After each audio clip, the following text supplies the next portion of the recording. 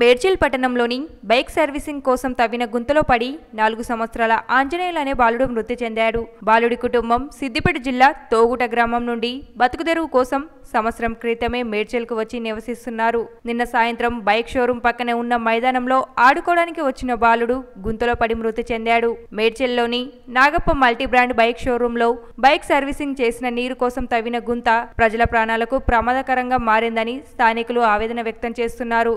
దీనికి కారణమైన bike showroom యజమానిపై చర్యలు తీసుకోవాలని స్థానిక ప్రజలు ఆవేదన వ్యక్తం చేస్తున్నారు.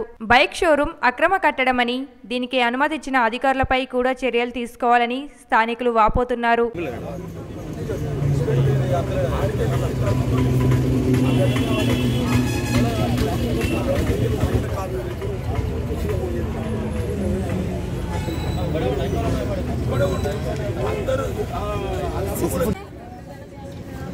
ఇంకా ఈ కనెక్షన్ కూడా తీసుకున్నాను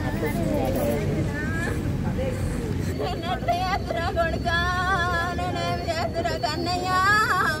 నువ్వు ఏడుస్తున్నావని చూస్తున్నా కన్నయ్యా? నేనేం చేస్తున్నా కన్నయ్యా? ఆ పక్క పాడుగా నా పక్క. ఎవడన్నా ఎత్తుకుపోయినా అనుకున్నా నేను గదిలన్నీ తిరిగినా. నాకు ఈ ఊరు తెలియదు రాజ్యం తెలియదు నా అయ్యో నేనేమి చేస్తున్నా నాయమ్మ